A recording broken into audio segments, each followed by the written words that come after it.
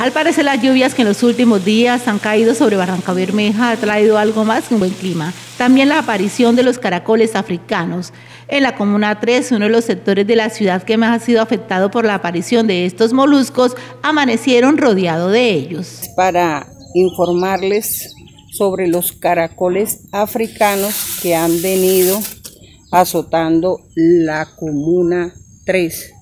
En el lugar, en un lote baldío, el caracol africano es un animal que es foco de transmisión de parásitos que afectan la salud humana, por lo que la comunidad del barrio Belén pide la presencia de las autoridades competentes. Y que pedimos la colaboración a los entes competentes para que nos ayuden a realizar una limpieza. Una de las recomendaciones de las entidades de salud es que para evitar la proliferación de caracoles africanos se deben evitar la acumulación de restos vegetales, productos de podas de árboles y rocería y el adecuado manejo de los residuos sólidos. Es importante recordarle a la comunidad que el protocolo cuando uno de estos animales aparece es aplicar sal, recogerlos con guantes y abrir un hueco para enterrarlos.